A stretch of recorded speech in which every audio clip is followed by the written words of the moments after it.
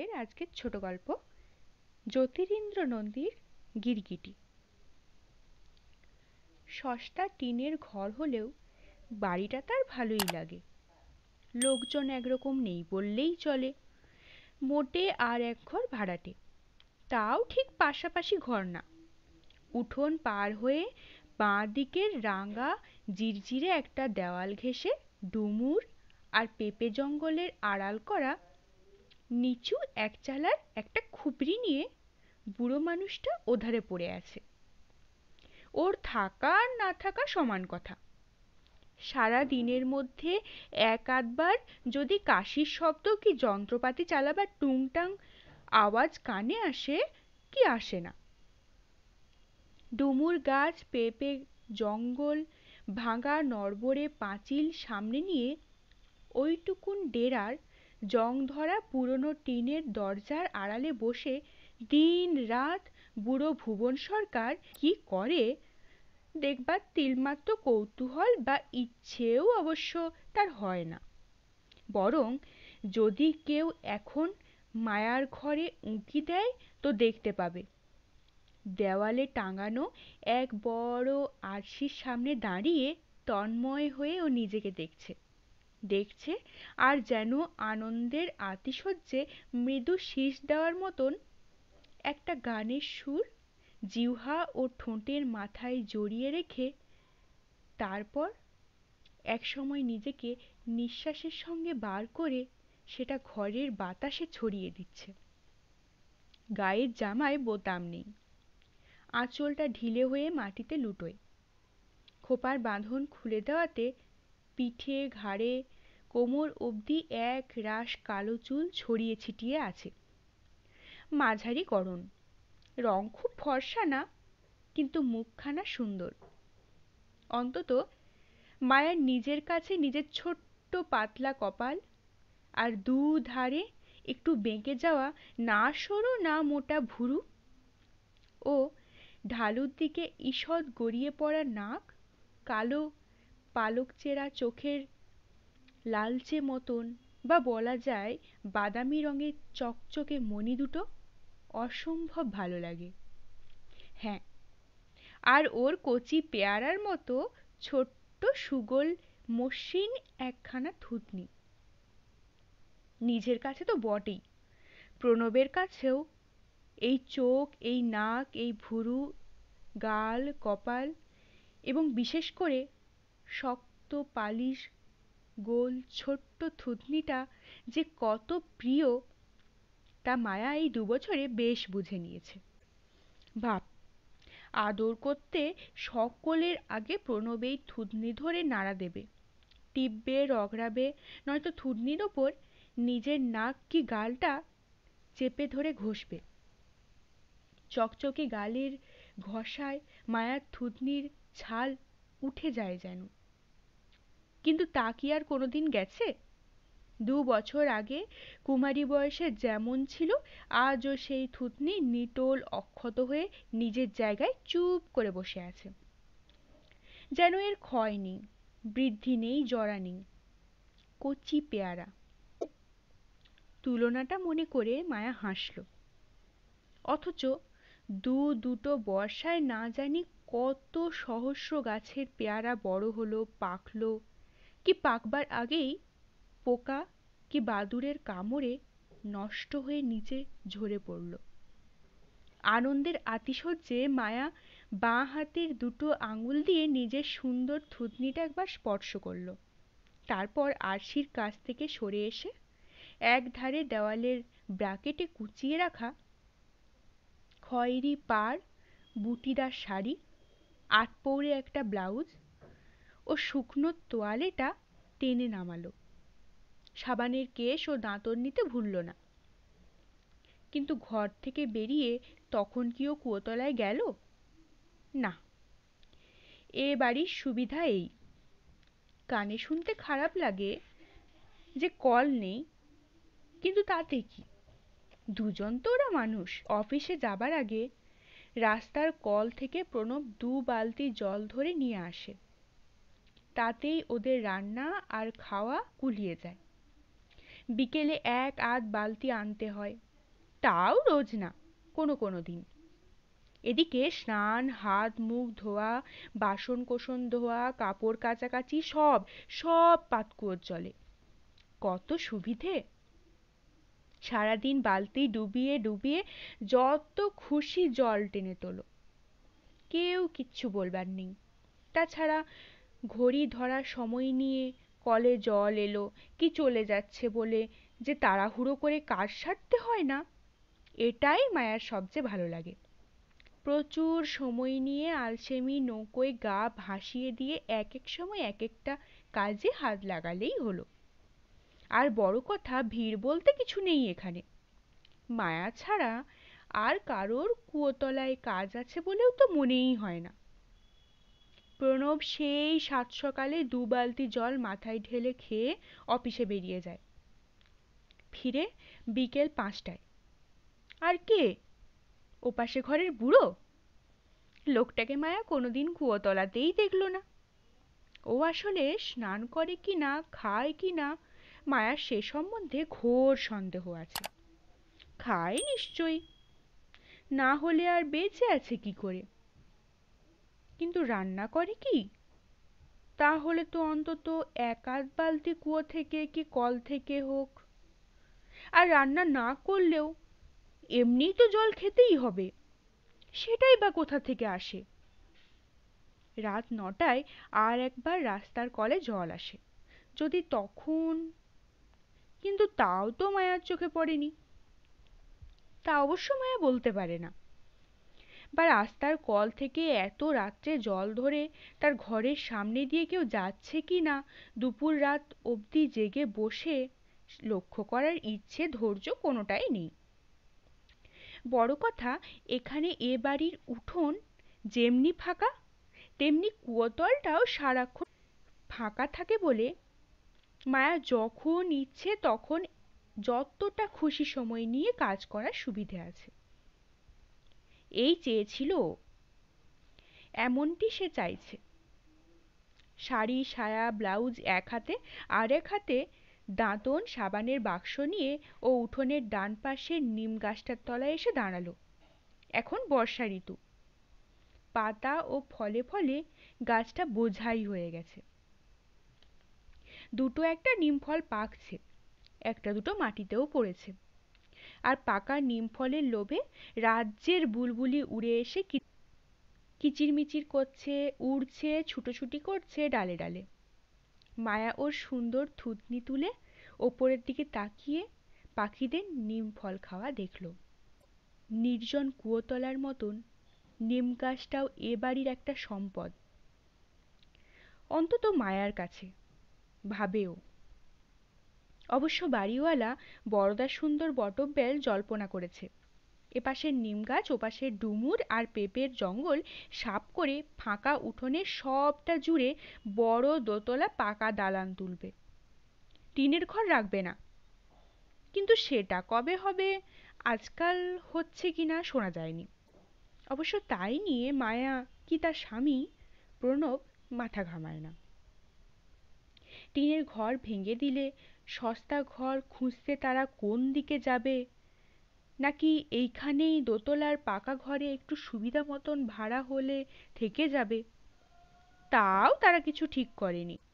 বরং সেসব না ভেবে মায়া সবুজ চকচকে চিরকি কাটা নিম পাতাগুলোর নাচানাচি দেখতে লাগল। আকাশের থমথমে মেঘলা ভাব কেটে গেছে। একটু সময়ের জন্য রোদ উঠতে পাতাগুলো যেন হাততালি দিয়ে হেসে উঠল। গাছের গুড়ি ঘেঁষে এক তাল ইট কবে থেকে পড়ে আছে? মখমলের মতন পুরু, নরম, সবুজ শ্যাওলার একটা আস্তরণ সবগুলো ইটকে যেন জমিয়ে এক করে দিয়েছে। আগুন রঙের দুটো ফড়িং সবুজ ইটের পাঁজা ঘেঁষে নাচানাচি করছে। ওপাশে ডুমুরের ডালে এত বড় একটা গিরগিটি স্থির চোখে তাকিয়ে ফড়িং দুটোকে দেখছে, যেন কোথাও একবার একটু শান্ত হয়ে ওরা বসলেই সে লাফিয়ে পড়ে ওদের ঘাড় কামড়ে ধরবে। করুণ চোখে ফড়িং দুটোকে আর একবার দেখে মায়া আস্তে আস্তে কুয়োতলার দিকে চলল। কুয়োতলার এখানে ওখানে লম্বা ঘাস গজিয়েছে। জায়গাটা সিমেন্ট করা নেই। গোড়ার দিকে মায়ার অসুবিধে হতো। জল, কাদা আর আগাছার জঙ্গলে দাঁড়িয়ে দড়ি বাঁধা বালতিটা নামিয়ে কুয়ো থেকে জল টেনে তুলতে ওর গা কেমন ঘিন ঘিন করত। কিন্তু আশ্চর্য, কদিনে এটা সয়ে গেছে। প্রণব খান ছয়েক পুরনো ইট বিছিয়ে দেওয়ার পর থেকে মায়ার আর কোনো অসুবিধেই বোধ হয় না। বরং কুয়োতলার এই মাটি, লম্বা ঘাস, ঘাসের ফাঁকের চিকচিকে জল, কাদা আর অগুন্তি কিলবিলে মশার বাচ্চা দেখতে ওর এখন ভালোই লাগে। যেন ওগুলো না থাকলেই খারাপ লাগতো। বিয়ের পর থেকে এতকাল ওরা শহরের মাঝখানে যে বাড়িতে ছিল, সেখানে সিমেন্ট করা শক্ত ঠনঠনে কলতলার বাঁধানো চৌবাচ্চার পাশে এসে এক দঙ্গল মেয়ে ছেলে কাপড় কাচাকাচি কলরব আর তাড়াহুড়োর চাপে পড়ে মায়ার প্রাণও হাঁপিয়ে উঠত। মাটি, আকাশ, ঘাস পোকার গন্ধ ছিল না। ছিল দেওয়াল আর দেওয়াল আর কটকটে ফিনাইলের গন্ধ আর সস্তা সাবান, হেয়ার অয়েলের মঠি পচা গন্ধে ভরা বদ্ধ বাতাসের কুমট কলতলায় যতক্ষণ থাকতো মায়ার গা বমি বমি করত। এখানে খোলা হাওয়া, আর ঘাসের শীষের দোলানি, আর নিম গাছ থেকে ভেসে আসা পাকা নিম ফলের গন্ধ, আর বুলবুলির কিচিরমিচিরে এক আশ্চর্য নির্জন জগতে হাত পা ছড়িয়ে বসে মায়া যতক্ষণ খুশি প্রণবের কিনে দেওয়া ভালো সাবানটা মাখতে পারে। যেভাবে খুশি। বাপস! আগের বাড়িতে ইচ্ছে মতন খোলা গা হয়ে বসে মায়া একদিনও সাবান মাখতে পারেনি। হ্যাঁ মেয়েরাই একটি মেয়ের গায়ের কাপড় সরে গেলে কি খুলে ফেললে এমন সন্দিগ্ধ কুটিল চোখে তাকায়? আর চোখ টেপাটিপি, ঠোঁট টেপাটেপি, এখানে সেসব বালাই নেই। মায়া এক টানে গায়ের ব্লাউজটা খুলে ফেলল। কাচুলি ও সায়ার বাঁধন আলগা করে দিতে সস্বর করে সেগুলি আপনা থেকেই সরে পড়ল। পা দিয়ে একপাশে ও দুটো ঠেলে সরিয়ে রাখল ও। এমনি জল দিয়ে কেচে দেবার ইচ্ছে। এখন শুধু পেঁয়াজের খোসার মতন পাতলা শাড়িটা ওর গায়ে পতপত করছিল। এলোমেলো হাওয়া। হাওয়ার ঝাপটায় শাড়িটা একসময় গায়ের চামড়ার সঙ্গে লেপটে যেতে হাড় ও মাংসের স্থূল সূক্ষ্ম বাঁকা ও আধ বাঁকা রেখাগুলো একসঙ্গে জেগে উঠল। এ এক আশ্চর্য অনুভূতি। গায়ে জল ঢালার আগে রোজ ও কিছুক্ষণ এমনি দাঁড়িয়ে থেকে শাড়ির পথপথ ও হাওয়ার শিরশিরানিটা অনুভব করে, যেন প্রত্যেকটা রোমকূপের মধ্যে হাওয়া ঢুকে গলা, বুক, পিঠ, পেটে কোমরের তলপেটে উরু হাঁটু, হাঁটুর নিচে পায়ের মাংসল ডিম দুটোকে সতেজ স্নিগ্ধ করে দেয়। আঁচলটা আর গায়ে রাখে না ও, কোমরে জড়ায়। তারপর কুয়োপাড়ের উঁচু সিমেন্টের ওপর কনুইয়ের ভর রেখে কোমর থেকে থুতনি পর্যন্ত সবটা শরীর সামনের দিকে বাড়িয়ে দিয়ে নিচের অন্ধকার জলের দিকে তাকায়। জলের আয়নায় নতুন করে সে নিজেকে দেখে, যেন চিনতে পারা যায় না। এ মায়া সেই মায়া? এ কপাল সেই কপাল? এ থুতনি, এ বুক সেই বুক? কি ঘরের আরশিতে এই মাত্র সে যা দেখে এসেছে? যা সুন্দর, শক্ত জমাট, আর এখানে জলের অন্ধকারে তা কেমন বিস্মী হয়ে পড়েছে। এ অবস্থা দেখে মায়া প্রথমটা চমকে ওঠে, ভয় পায়। তারপর অবশ্য কারণটা বুঝতে পেরে নিজের মনেই ও হাসে। সামনের দিকে অতটা ঝুঁকে থাকলে নিজের ওই চেহারা দাঁড়াবেই। সুতরাং ভয় মিছে।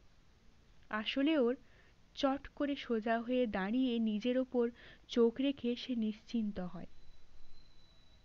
তেমনি নিটোল মসৃণ জোড়া ফুলের স্বপ্ন হয়ে কার দিকে তাকিয়ে আছে ওরা সারাক্ষণ? কি দেখছে? মায়া আবার নিজের মনে একটুখানি হাসল।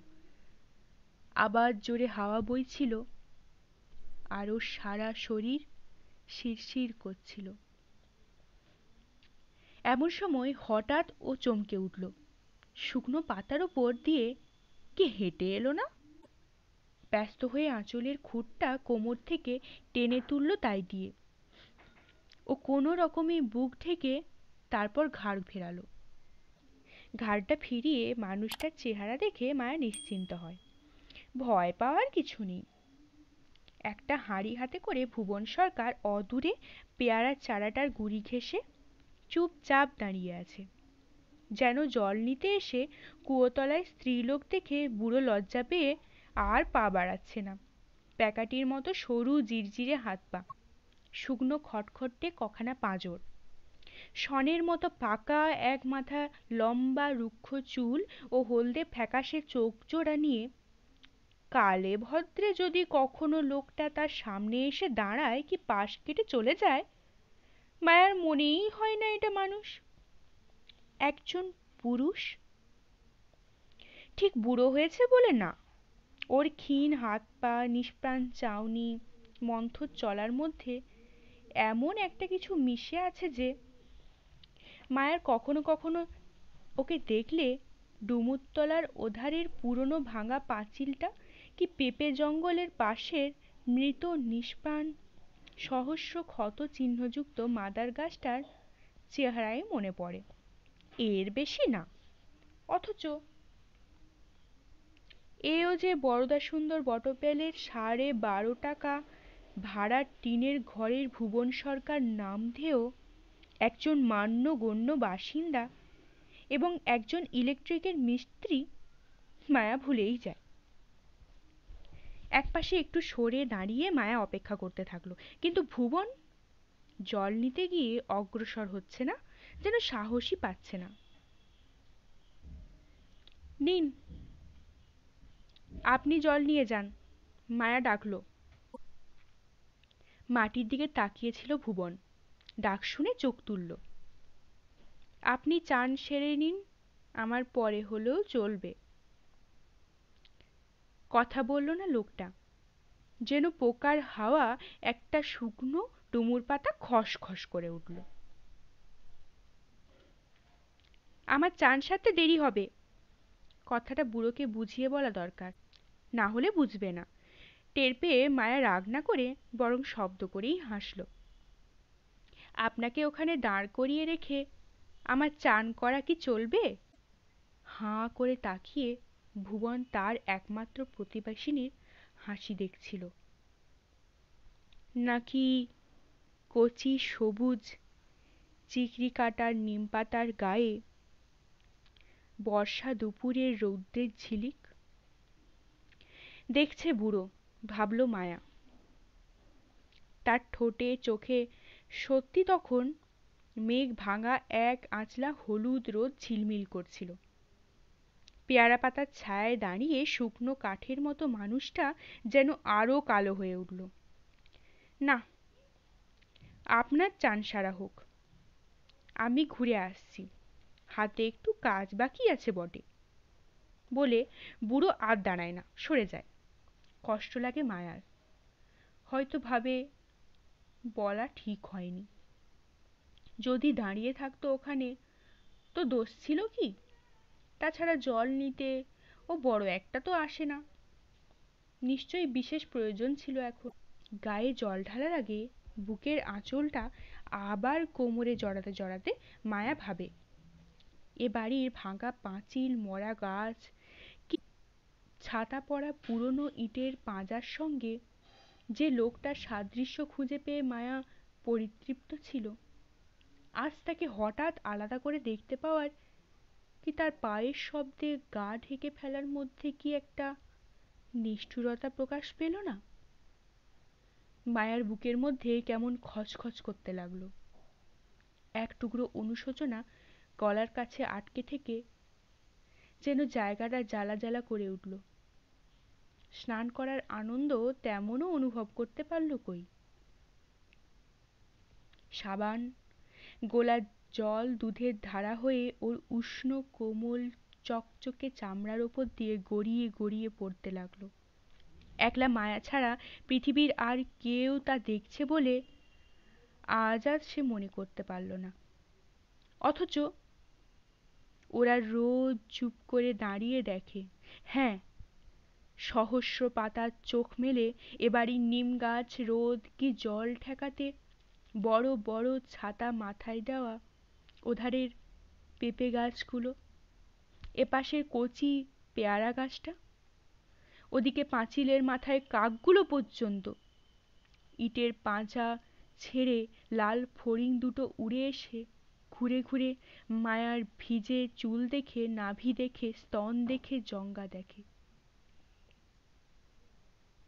কচি কলাপাতার বোঁটার মতো ওর পিঠের ঋজু মসৃণ সুন্দর সিদ্দারা ঘেঁষে একটা মশা হুল ফুটিয়ে দিয়ে এতটা রক্ত খেয়ে পেট মোটা করে একসময় উড়ে গেল। যেন মায়া টেরই পেল না। ভালো করে তোয়ালে দিয়ে গা রগড়াতে আজ তার হাত উঠছিল না। ভাবছিল, ও মানুষটাকে এখানে দাঁড়াতে নিষেধ করা আর ডুমুরের মরা ডালটাকে এদিকে উঁকি দিতে বারণ করা এক কথা। যেন সেই অভিমানে ফড়িং দুটো এলো না। পাঁচিলের মাথায় কাকগুলো নেই। পেঁপে গাছগুলো ছাতার আড়ালে মুখ ঢেকেছে। নিম গাছটা বুলবুলিদের ফল খাওয়া দেখতে ব্যস্ত। মায়ার স্নান দেখতে কারও উৎসাহ নেই। ওদের একজনকে সরে দাঁড়াতে বলায় বাকি সবাই রাগ করেছে, দুঃখ পেয়েছে। অথচ এদের চোখের সামনে নিজেকে মেলে ধরা, খুলে দেওয়ার নেশায় বুঁদ হয়ে পাঁচ বালতির জায়গায় পনেরো বালতি জল ঢেলেছে। ও প্রণবের কিনে দেওয়া সাবানটাকে বার বার ঘষে কদিন ক্ষয় করে এনেছে। মৃদু একটা আঘাত বুকে নিয়ে কোনো রকমে ও স্নান শেষ করল। ভালো করে মাথা মোছা হলো না। তোয়ালে বা কাপড়ের জল নিগড়ানোও হলো না। মন্থ ভারী পায়ে কুয়োতলা ছেড়ে ও ঘরে ফিরে এলো। তখনই আবার তার আরশির সামনে দাঁড়াবার কথা, কিন্তু তা সে করল না। ভেজা কাপড়গুলো মেলে না দিয়ে দলা করে সেভাবেই দরজার পাল্লার ওপর রেখে দিল। টস টস করে জল ঝরছিল ওগুলো থেকে। মায়া এক সেকেন্ড দাঁড়িয়ে তা দেখল, কিন্তু সে সম্পর্কে ও কিছু ভাবছে বলে চোখ দেখে তো মনে হলো না। চৌকাট পার হয়ে আস্তে আস্তে ও আবার উঠোনে নামলো। আবার এক সেকেন্ড কি ভাবল? তারপর ওপাশে ডুমুর জঙ্গল ও ভাঙা পাঁচিলটার দিকে তাকিয়ে ডেকে বলল, আমার হয়ে গেছে, আপনি যান। কেউ সাড়া দিল না। টিনের ডেরা থেকে বেরুলো না কেউও মায়া আর একটু সময় অপেক্ষা করল। একটা শালিক ওর পায়ের শব্দে উঠোনের ঘাস ছেড়ে ছেড়ে পেয়ারা ডালে গিয়ে বসল। এক পা এক পা করে মায়া ডুমুরতলার দিকে এগোয়। টিনের চাল প্রায় মাথায় ঠেকে। ভেতরে ঢুকলো না ও। চৌকাঠ ধরে দাঁড়িয়ে একবার উকি দিয়ে দেখল। অবাক হলো না, বরং মায়া দুঃখই হলো। মানুষটা ঘুমিয়ে পড়েছে। হাতের কাছে মাটিতে দুটো একটা যন্ত্রপাতি পড়ে আছে। কোনোটা জং ধরা, কোনোটার হাতল নেই কি মাথা ভেঙে গেছে। ওধারে দুটো গোল মতন কি যেন পড়ে আছে। ইলেকট্রিকের কলকবজা কিছু হবে মায়া অনুমান করল। ওপাশে আর একটা জিনিস দেখে মায়া চিনল, টেবিল ফ্যান। দুটো ব্লেডই ভেঙে গেছে, একটা আছে। ওটা ইলেকট্রিক স্টোভ না হয়ে যায় না। চৌকাঠে দাঁড়িয়ে সব দেখা শেষ করে মায়া আবার বুড়োর মুখটা দেখতে লাগল। দুটো চোখ গর্তে ঢুকে পড়েছে। কপালের চামড়া ঠেলে পাকানো দড়ির মতো একটা শিরা বেরিয়ে আছে। কাঠের টুকরোর মতন দুটো চোয়াল। নাকটা উঁচু। গাল কপাল শুকিয়ে যাওয়া দরুন আরও বেশি উঁচু দেখাচ্ছে। গলায় বুকে কখানা শুকনো হাড় ছাড়া আর কিচ্ছুই চোখে পড়ে না। শিয়রের কাছে শূন্য অ্যালুমিনিয়ামের ডেকচিটা পড়ে আছে। দেখে মায়ার দু চোখ আবার ছলছল করে উঠল। একটু সময় ইতস্তত করে তারপর ও আস্তে আস্তে ডাকলো, ঘুমিয়ে পড়লেন কি? ঘুমোচ্ছেন? হুম হুম, কে? বুড়ো চমকে উঠে চোখ মেলে দরজার দিকে তাকালো, তারপর ব্যস্ত হয়ে পা গুটিয়ে সোজা হয়ে বসল। হাত দিয়ে চোখ রগড়াতে রগড়াতে অল্প হাসল। হাই তুলল একটা। ভাবলাম, আপনার চানটা হোক। হাতের কাজটা সেরে ফেলি, আর এর মধ্যে কি না? চোখটা লেগে গেল। আমার হয়ে গেছে চান, বলল মায়া। বলে চলে আসতো, চৌকাঠ ছেড়ে কিন্তু পারল না, দাঁড়িয়ে রইল। এই প্রথম ওর মুখোমুখি দাঁড়ানো, শুকনো মরা গাছ থেকে যেমন ভয় বা লজ্জা পাওয়ার প্রশ্ন মনেই আসে না, এখানেও তাই। শূন্য হাঁড়িটা তুলে নিয়ে মায়ার সামনের দাঁড়িয়ে ভুবন ও চোখের দিকে স্থিরভাবে তাকিয়ে যেন কি বলি বলি করছে। মায়া মাটির দিকে চোখ নামিয়ে প্রশ্ন করল, এবেলা বুঝি রান্নাবান্না হবে? কোনার দিকে একটা উনুন আর কিছু ভাঙা বাঁশ কাঠের টুকরো মায়ের চোখে পড়েছে। হুঁ, দিদি, ইচ্ছে ছিল সেরকমই। তার শরীরটা যেন এখন নাড়তে ভালোই লাগছে না, বলে একটা লম্বা নিঃশ্বাস ফেলল ভুবন। চুপ করে রইল এবার। তারপর আস্তে আস্তে বলল, বেলা এখন ঠিক কটা বাজে, দিদি? বারোটা হবে। মায়া মাটির থেকে চোখ তুলল। অনেক বেলা হয়েছে। যেন মানুষটার চোখের রং আর তেমন ফ্যাকাশে না থেকে একটু চকচকে হয়েছে দেখে মায়া ঘাড় ফিরিয়ে বাইরের ডুমুর পাতার ফাঁক দিয়ে আকাশের রোদ পরীক্ষা করতে ব্যস্ত হলো। ভালো লাগলে অবশ্যই লাইক করবেন, শেয়ার করবেন। পরবর্তী পর্বে চোখ রাখতে চ্যানেলটিকে অবশ্যই সাবস্ক্রাইব করবেন। ও প্রতিটি পর্ব মিস না করার জন্য বেল আইকনটি প্রেস করবেন। আপনাদের অভিমত কমেন্ট বক্সে অবশ্যই জানাবেন। অনেক ধন্যবাদ, নমস্কার।